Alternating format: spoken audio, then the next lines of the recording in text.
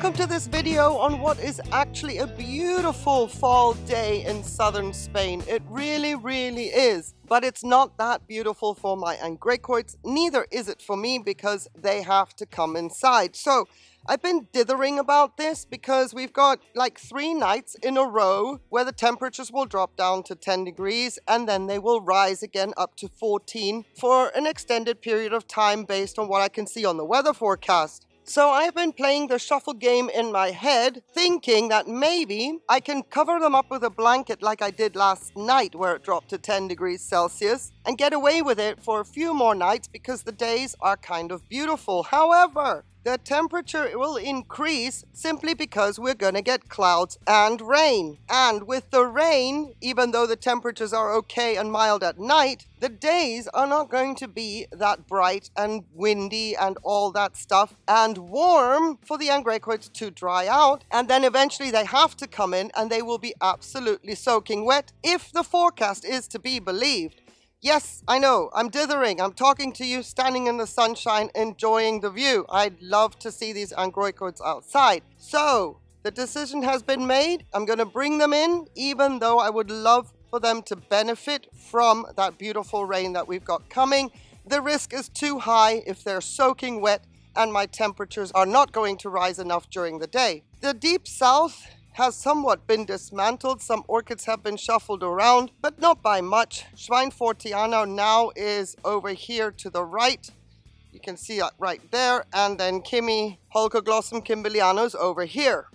I've made some space for us because I will be setting up the camera to the left right here so that we can see what happens with the root systems as I pull the orchids out of the hedge. Now, they moved out in May, which is four weeks later than what they normally would move out in because we had such a terrible spring that April it was impossible. It was far too cold. Never mind the rain, it was the temperatures that I could not have these orchids outside during the month where they normally would move outside in 2022. So they didn't have as long a time span outdoors as they did in the previous years. I don't know what the root growth is going to be like. I've already put a pot there. Well, you'll see. Let me set up the camera. The staging area is ready because then they need a good cleanup before they go inside. Wish me luck.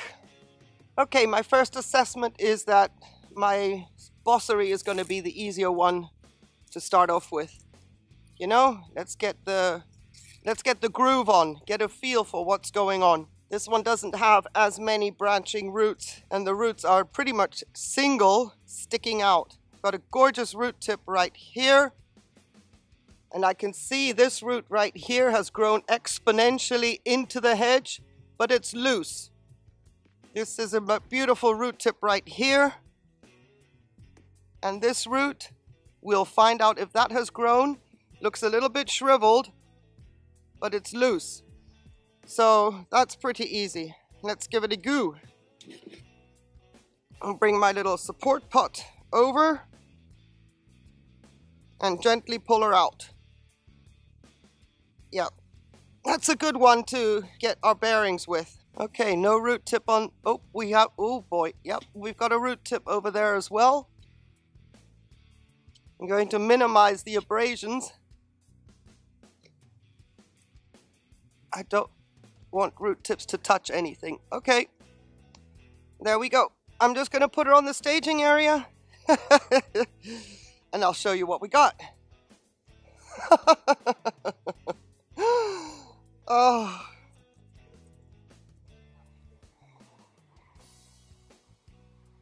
Just a moment to geek out. This is an extension. This is an extension the root back here tried to extend and then stop. That's fine. Saying that now, two new ones came out of the stem for 2022. Amazing.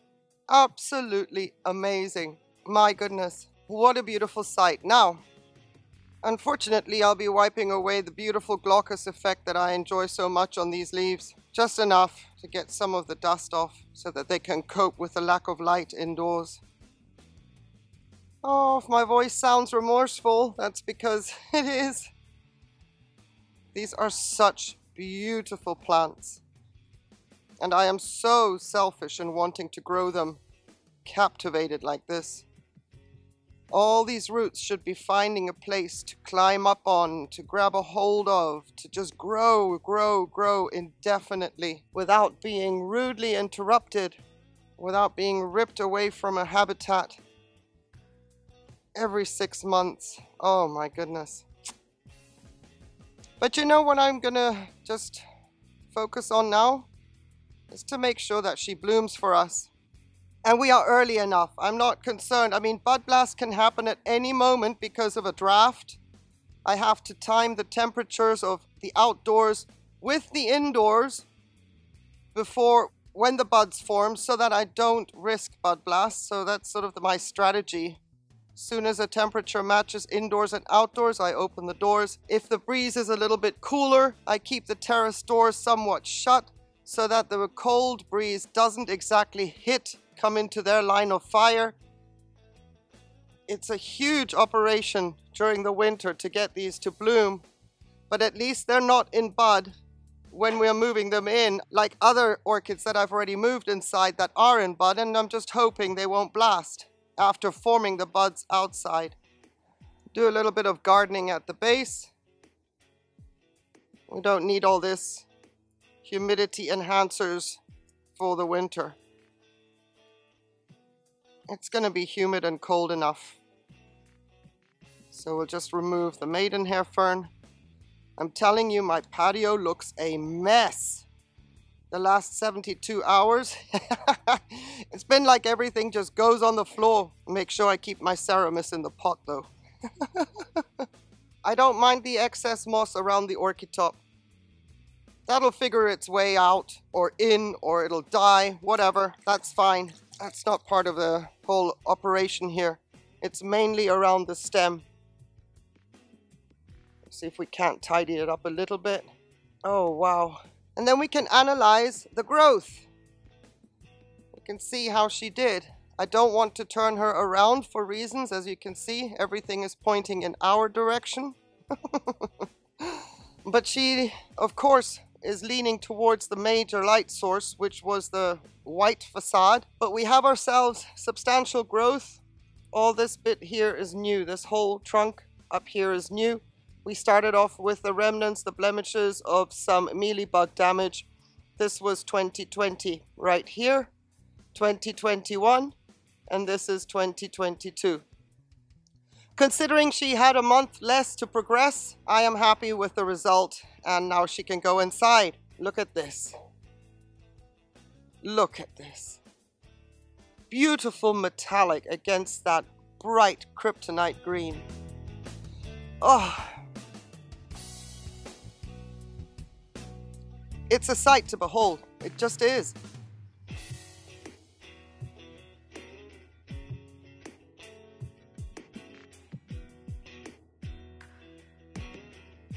out of the light and into the darkness. Ooh, let's do the Crestwood Tomorrow Star. All right, same principle here. This is not going to be as straightforward. So they had calcium and magnesium this morning and it's already empty. Wow. It's not hot enough for evaporation. They are drinking up like crazy at the moment. Okay, out of camera, I'm releasing the Velcro that was holding up new leaves just to give them stability while they get all their nutrients so that they can stay up strong instead of flopping over because that was a problem early spring. They were growing and the cell structure wasn't strong enough. So we've done that. Now the same as before applies to check and see that roots are loose before we start pulling them out. That's easy, that's easy. Root tip there. I know you can't see what I'm seeing, so I'm just going to talk you through. That feels loose, not sure though. Here is a point of tension because I have two branchings. I got to remember that. That was a problem early spring. These all feel loose. Okay.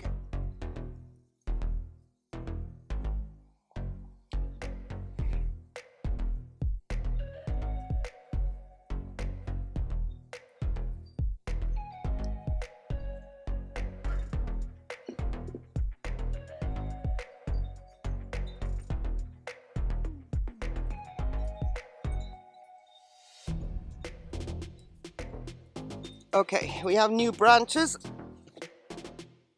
that are different from before. Let's see if I can... I might, I might snap a joint on a branch right here. Yep, already snapped. Yeah, that snapped. Oh, what a shame. Mm -mm -mm.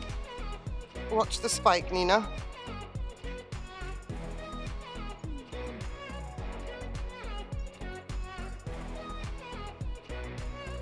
They are loose, but they're kind of tangled up in each other. Let's see if we can only keep that one casualty. This root is causing me issues as I pull. Seems to be everything's okay over here.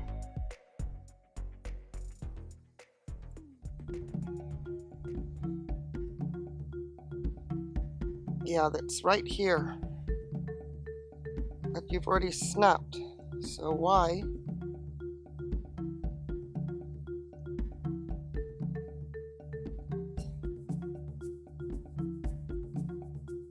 This root tip is loose. It's not attached, but it's the one that's the point of contention.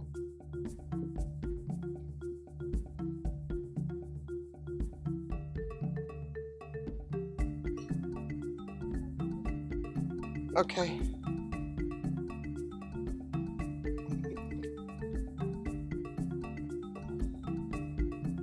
Looks like I'm pulling part of the hedge towards me, but they're loose. Okay.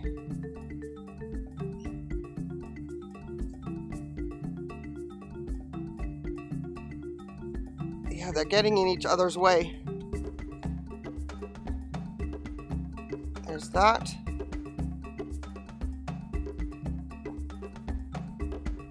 One's loose.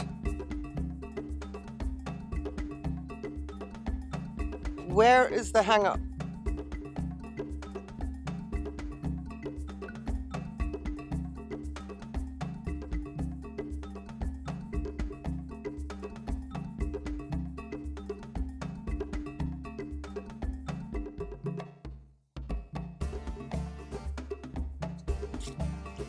Can you see the root tips coming out? Oh, gorgeous. Here we come. I think.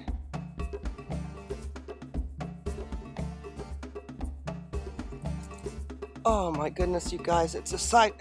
It's a beautiful sight. I will only know if this footage is good once I've downloaded it.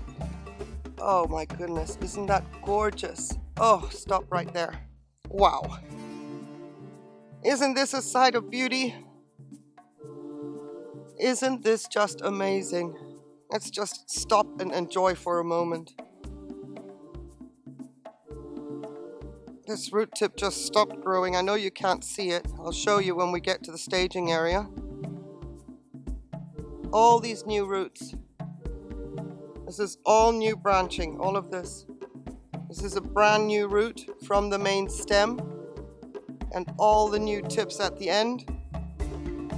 They extended after they stopped growing during the winter of 21. Same here. Oh, you guys. I'm telling you, this is my kryptonite. okay, let's get a cleanup going. Thankfully, it's not a windy day. It's like a luxury for me to see these roots. Wow. All right. It's a thing of beauty.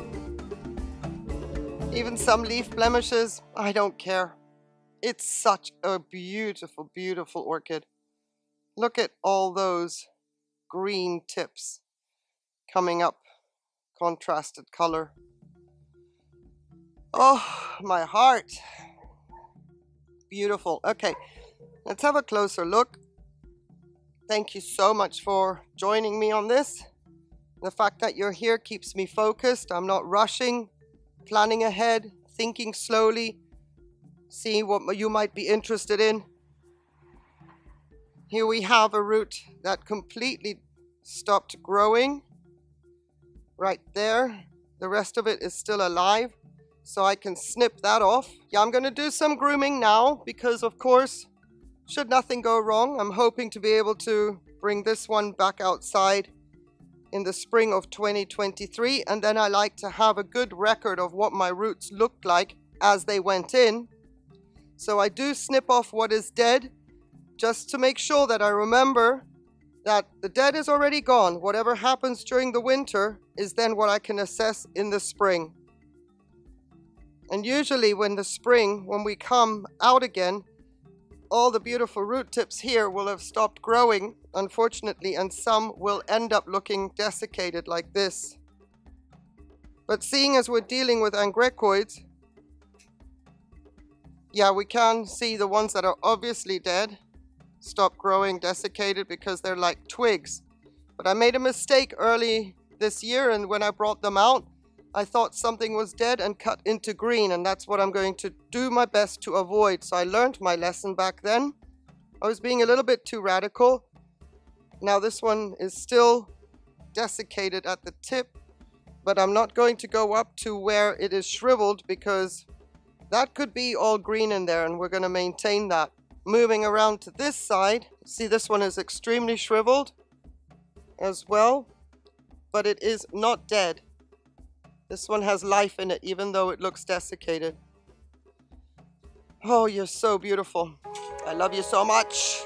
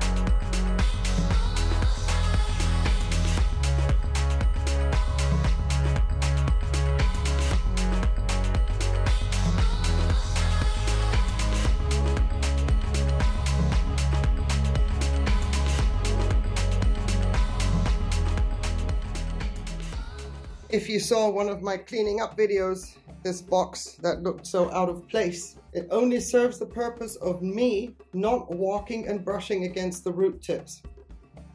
So yeah, here we are. They're safe. Can you imagine the shock coming out of paradise and coming into what I consider orchid hell? I'm sorry for being that radical, but yeah, that's how I feel when it comes to my orchids. Okay, well, if you enjoyed this video, please give it a like. If you want to continue watching the progress of the spikes, how about subscribing? Hit the notification bell. We also do live streams. Make sure that you hit all notifications so that you also get the alerts for the live streams. And let's hope that we bring them safely through the winter and maybe still get some blooms. That'd be awesome. I appreciate your time so, so much and your support.